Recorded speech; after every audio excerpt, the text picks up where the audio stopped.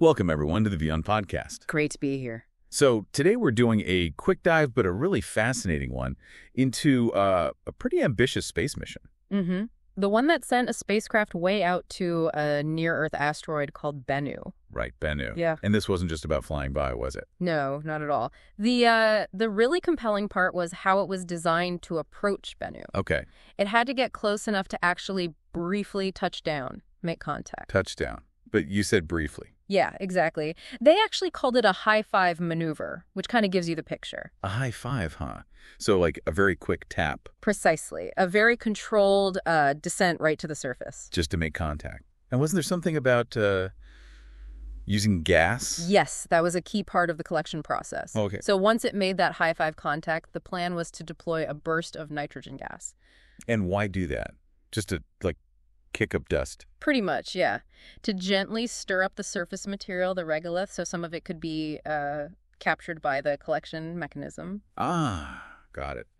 So it wasn't just touching, it was actively trying to grab something. Exactly. Stir it up and scoop it up, basically. So the main prize then was this material, these samples from Bennu. That was the primary objective, yes. Specifically, collecting carbon-rich samples. Carbon. Why carbon? What's the significance there? Well, that ties into some really big questions, you Mhm. know, Ah. about the origins of life. Okay, how so? The thinking is that asteroids like Bennu, these sort of um, time capsules from the early solar system, Uh-huh.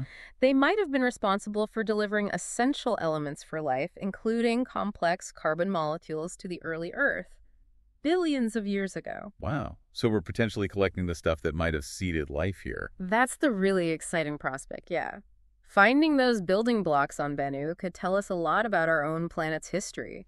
And maybe life elsewhere, too. That's, yeah, that's incredible to think about. Just mind-blowing. It really is. Was that the only reason, though? Or were there other goals for this, uh, this tricky maneuver?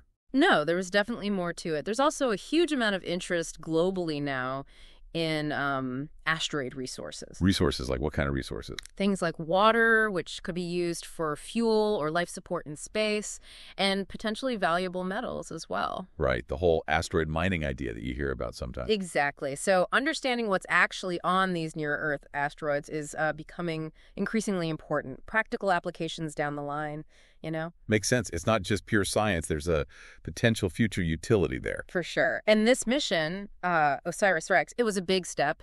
It launched, let's see, September 8th, 2016, Wow, 2016. from Florida. Yep, Cape Canaveral. So years of travel just to get there for that uh, that brief touch. Amazing planning, amazing execution for such a delicate operation so far away. Really shows what we can do. Absolutely. A groundbreaking mission in many ways. Well, that's certainly given us a lot to think about.